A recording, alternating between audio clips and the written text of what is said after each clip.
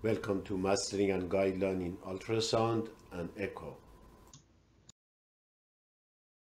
Hi everyone. In this group of the lectures, uh, I'm going to talk uh, about anatomy and pathophysiology of the aortic regurgitation. In the second lecture, uh, talk about grading and echocardiographic evaluation.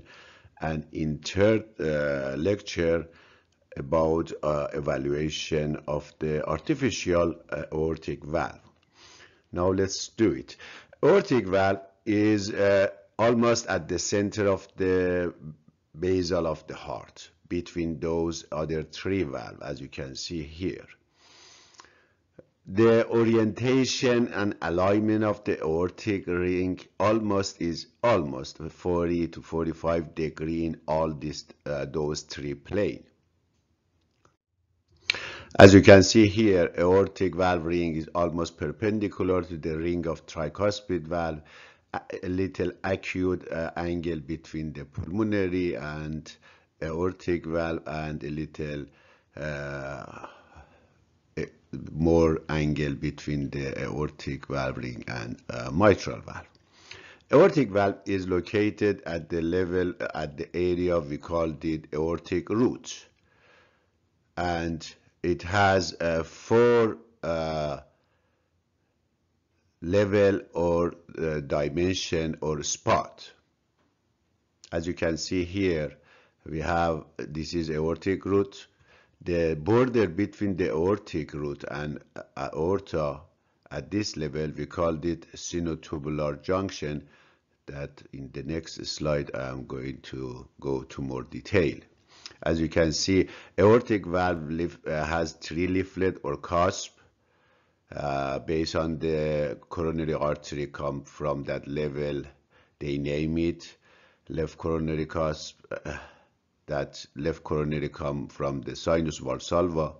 Shortly, I am going to explain what does sinus valsalva mean and right cusp that right coronary cusp come from that area and non-coronary cusp that doesn't have any coronary artery. As you can see here this is aortic arc and ascending arc here descending right coronary cusp left coronary cusp and those three branches brachiocephalic left common carotid artery and left subclavian. As i mentioned uh, aortic valve has three leaflets or cusp. Each uh, cusp uh, has uh, almost semicircular shape and has two surface, arterial surface and ventricular surface. The ventricular surface we call it lunula and at the free edge as you can see here at the center of middle of the free edge there is a tuberosity we called it nodulus Arantii the combination of this uh, Arantii and the shape of the semicircular and bulging outside the outer uh, area of the coronary sinus valsalva we called it this one uh, sinus of valsalva the wall of the aortic valve and aortic cusp create some shape of the half cuff and this part is bulging out from the outside. We called it sinus of valsalva. At the upper part of the sinus of valsalva of those two coronary artery we have orifice of the coronary artery that we call some uh, sometimes we call ostia coronary ostia. In most people the level of the ostia is above the close uh, opening of the aortic cusp when in during systole he, here when it goes over a leaflet or cusp contact the wall it end at almost at this this level so it doesn't cover up the ostia but in some percentage of the people uh, in different study 20 30 percent uh, in the cadaver they notice that those uh, ostia is below the uh, and covered by the cusp but is not uh, ha doesn't have any too much physiologic effect because most of the uh, coronary perfusion especially in left side happen during diastole and during diastole blood can go to the ostia. The free edge, as I mentioned, the connecting area of the cusp is almost parabolic. We called it the lower part of the connection of the aortic cusp to the aortic wall. We called it aortic ring, this layer, this line. Or aortic annulus. Here is the histology of the aortic uh, valve, uh, each uh, one cusp. Uh, as you can see here, we have two layer of the uh, collagen inner layer and elastin outer layer.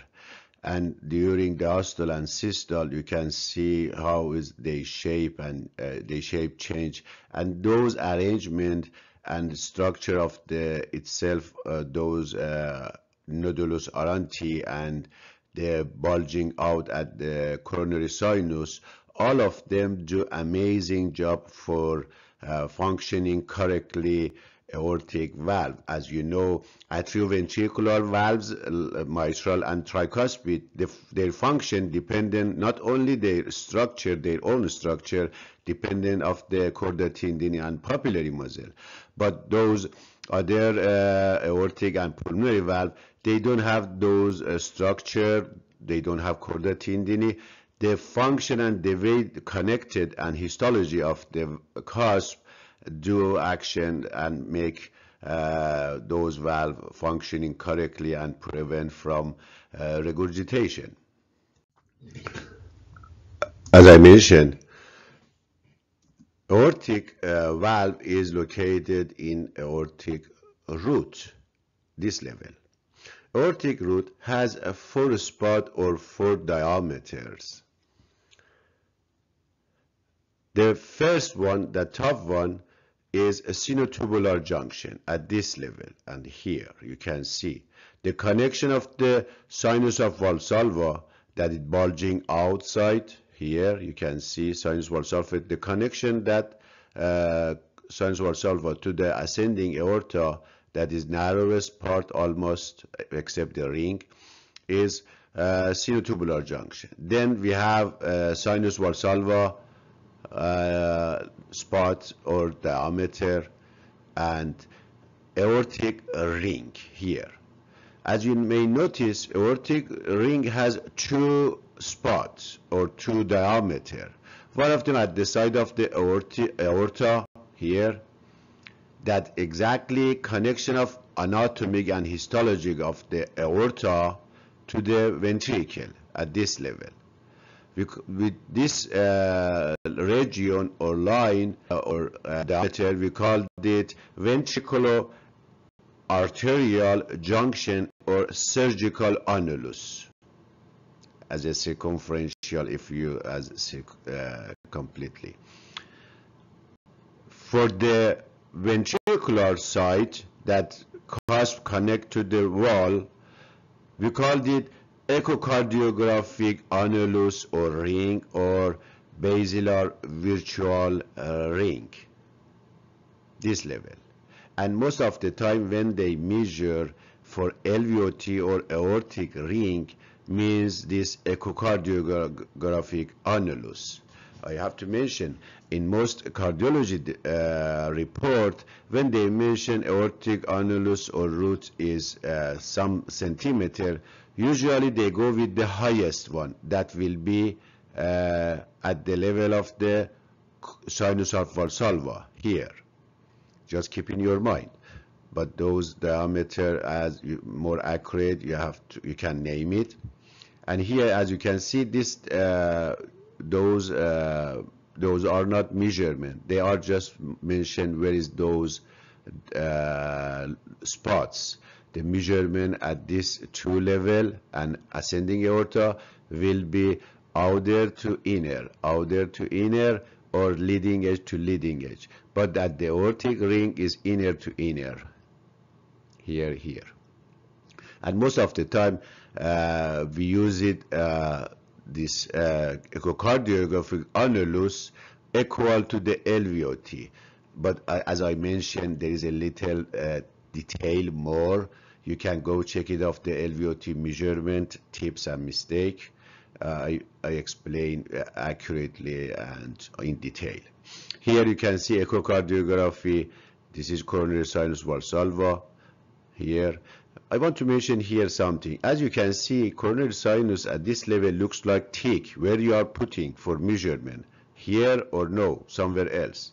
You have to take it the what is the thickness of the real coronary sinus. As you can see, a hyper-echo line here.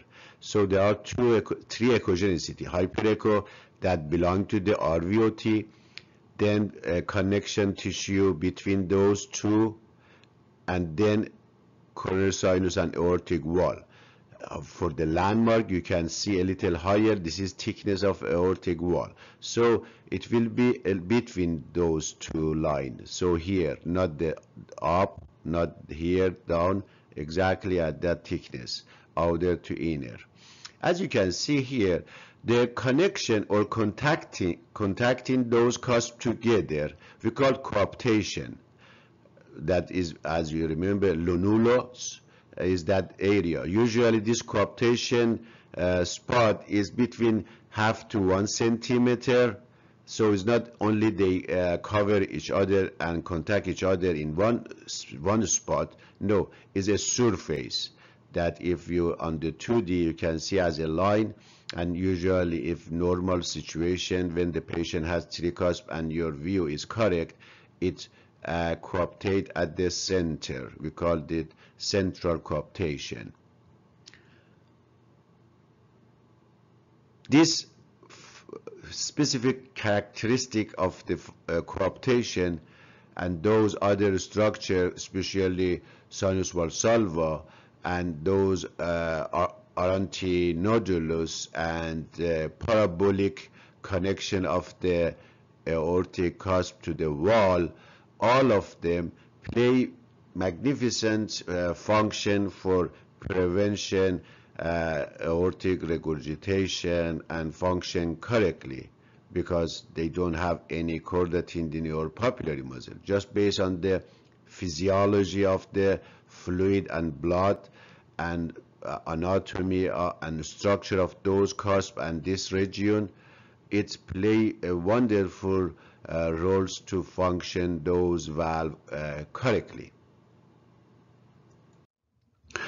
Like mitral uh, regurgitation, uh, we can classify and category etiology of the AI or AR to the two group based on the structure of the valve is correct and function is correct or not. So we can uh, divide it to the primary or structural and secondary or functional. At top of the primary is congenital heart disease bicuspid aortic valve, leaflet prolapse, uh, and uh, rheumatic in other country, undeveloped country, or connective tissue disorder. In the secondary, at top of them, uh, aortic dilation, aneurysmal, trauma, and uh, syphilis, but uh, and other connective tissue disease.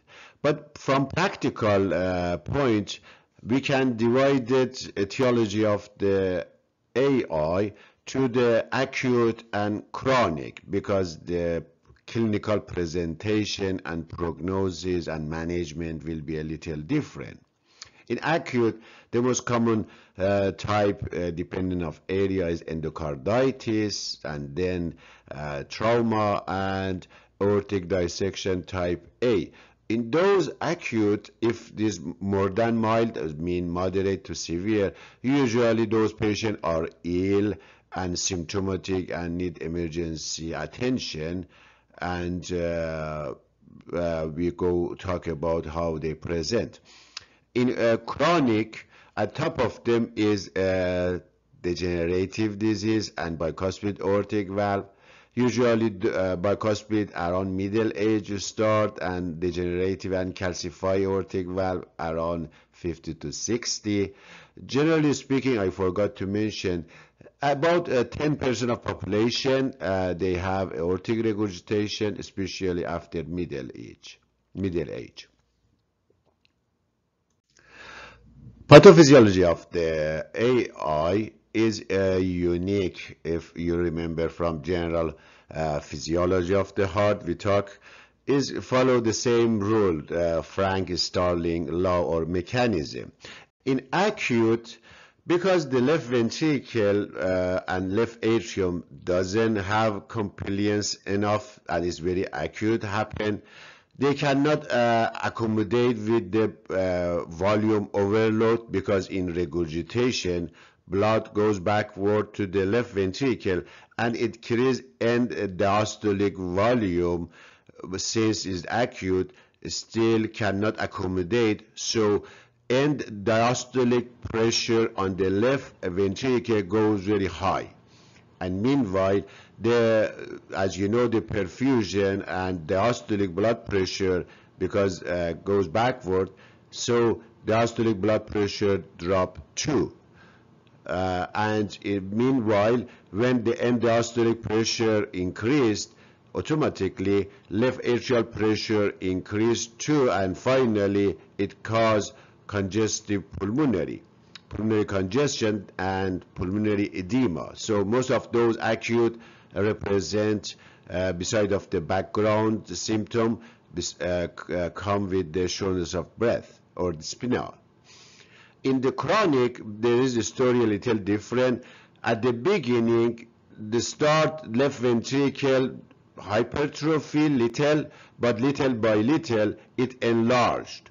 This enlargement can cause left ventricular pressure and left atrial pressure at the end of diastole, at this one at the end of the systole, dropped, but both of them enlarged. Up to that some specific point, this enlargement can make the patient uh, asymptomatic almost beside of the those uh, murmur and those other physical finding we can see in MR. But uh, the symptomatic, they are not too much symptomatic because pressure dropped. But when the enlargement go to a specific point beyond that breaking point that I talk, before. So uh, they start the patient uh, show the symptom of the heart failure. Just one thing I have to mention again here that in acute AI, maybe we don't see significant murmur, diastolic murmur. Be aware of that. Many patients, especially in acute, they can be very faint, murmur be very weak, and uh, with those other symptom and etiology that you are suspicious, always we have to evaluate by echocardiography. Uh, we are done in this uh, part. For the cardinal manifestation, physical exam, all those uh, things uh, for medical students and nurse, Later, maybe I am going to prepare those uh, other uh, pathophysiology uh, topics about cardinal manifestation, management, all those stuff. In the future, I have a plan uh, to prepare those topics. Up to the next time, have a wonderful time.